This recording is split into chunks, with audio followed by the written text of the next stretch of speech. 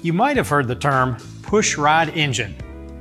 The obvious deduction from the name is that this type of engine utilizes pushrods. But what exactly do they do? Pushrods are one of the oldest design features of the internal combustion engine. The camshaft in an engine is what controls the opening and closing of the valves in the cylinder head. Lobes on the camshaft transfer motion into a cam follower. But since camshafts were initially located low in the engine block close to the crankshaft, and the valves were at the top of the engine, something needed to transfer the motion from the cam follower into the valve. This job was accomplished by the pushrods. Essentially, nothing more than a rod or tube, the job of a pushrod is simple on paper. However, there have been many different designs, and the aspects of a pushrod can have a big effect on engine performance. Some early pushrods were solid.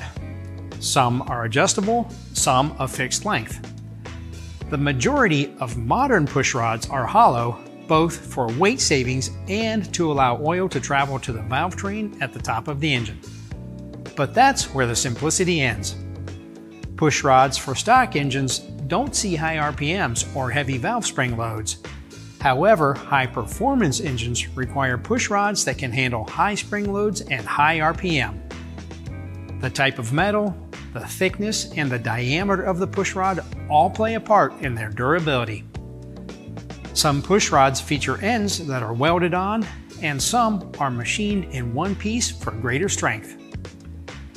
The overhead cam engine design eliminated the need for pushrods, opening up many easier opportunities for performance with the elimination of any problems associated with pushrods. But they're not going away anytime soon.